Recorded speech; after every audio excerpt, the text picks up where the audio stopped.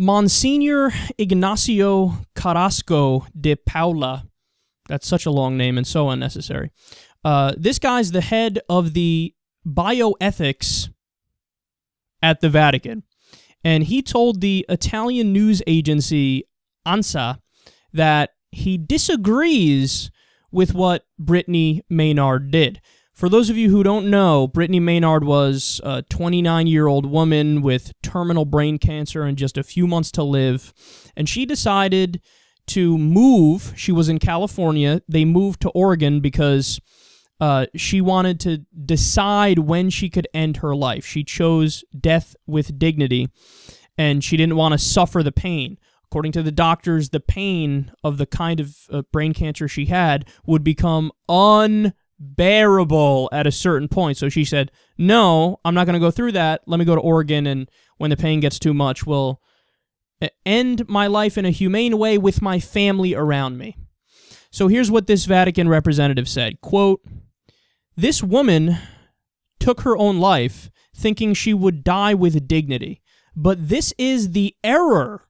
Suicide is not a good thing. It is a bad thing because it is saying no to life and to everything it means with respect to our mission in the world and towards those around us. Brittany Maynard's act is in itself reprehensible, but the gesture in and of itself should be condemned. It's absurdity. Here's why I love this story it exposes the fraud that the church is and that religion is. Because what's the main selling point of the Vatican and Catholicism, but all religion by and large? It's that they portray themselves as the most sympathetic characters in the world. But if this proves anything, it's that they are the least sympathetic characters in the world. Think about how fucking dense you would have to be to not see this situation from Brittany's perspective and understand that it's her choice and she's probably making the right decision. I mean, we can all imagine being in some sort of excruciating pain and hating every living second of our lives and just wanting it to be over and to choose our own destiny and embrace freedom and make the decision with our family around and leave on our terms? We can all imagine that. We can we've all been in extreme pain at one time or another in our lives from whatever. And imagine that pain multiplied by quite a bit more and then persistent and this guy says, No, I'm going to judge you. I'm going to judge your decision. And if I had my way, I would make you live in pain. I would make you live with that pain. And you're to tell me that you're sympathetic. You're sympathetic.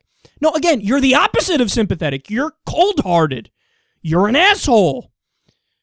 It's amazing to me. See, this is one of those things I just I can't understand it for the life of me. You see this a lot with far right conservatives, and apparently you see this a lot with very religious people. They're just incapable. They're incapable of being open-minded. They're incapable of seeing things from others' perspectives.